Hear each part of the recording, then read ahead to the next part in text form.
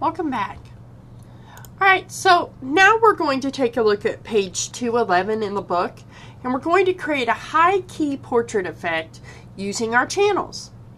And high key usually means overexposed or an abundance of light, a lot of white.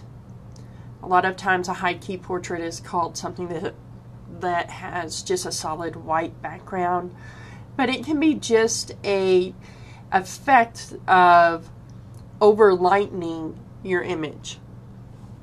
So the first thing we're going to do is we're going to open our image. So browse in bridge, select young woman. Open the young woman image. Let's go ahead and take a look over here at our channels. And so the first thing that you'll see is on page 211 it says if your image is in RGB mode make a copy by choosing image duplicate. So let's do image and we're going to duplicate it. So duplicate. And you can rename this if you like. So you're going to rename this high key duplicate. Click OK. Now we're going to convert this to a CMYK. So I'm going to go Image, Mode, CMYK Color. Yes, as I explained earlier, we understand. We're going to click OK. And over here you see under the Channels tab, the CMYK Composite channel layer and then each individual color channel as well.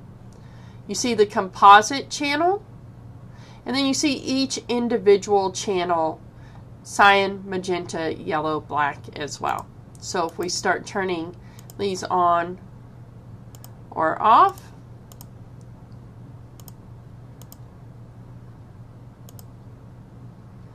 we can see what's happening on individual channels. So now what we're going to do is we're going to select the black channel to activate it. So click on just the black channel and we'll see that this is very overexposed. It's very bright. And with that one selected, all the other channels are then turned off. What you're going to want to do is copy the black channel. And so in your image, Make sure your move tool is selected. Hold down Command or Control A to select everything in the image.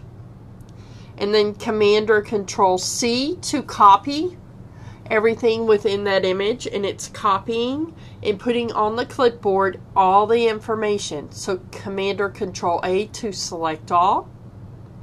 And then Command or Control C to copy. Now, you're going to revert back to your original image, the youngwoman.jpg image. And now what we're going to do is we're going to paste the black channel into the layers panel. So select your layers panel. Go ahead and duplicate the background layer. Make sure that you unclick from that layer so that no layer is selected and then paste, which is Command mm-hmm. V as in Victor, that black channel, and you'll see that it puts it as its own layer. And now we have this high key look. And if I go to image mode, it's still in RGB, so I didn't lose my color mode to CMYK by pasting that black color channel in.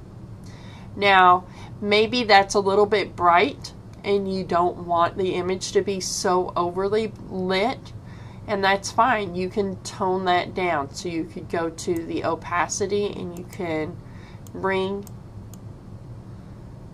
that layer down. You're going to adjust it to about 70% now let's add an adjustment layer. So we're going to add a levels adjustment layer. Bring in your shadows to 13. Bring down your highlights to 250. And then midtones, if I bring them to the right, darkens the image. If I bring it to the left, you'll see where it starts lightening the image. Midtones are going to be at 1.05. You can turn that layer on and off and you'll see it's just a really subtle difference. Mainly in the hair and eyes, you see a little more contrast. Once again, shadows are set to 13, midtones 1.05, highlights at 250. You're going to save this, so File, Save As, and this is 5A. Now put your last name, underscore youngwoman.psd. Be sure you're placing that in chapter 5 folder. Click Save. Again, those steps on pages 211 through 213 in the book if you want to see them written out. The only thing that was added was the levels adjustment layer.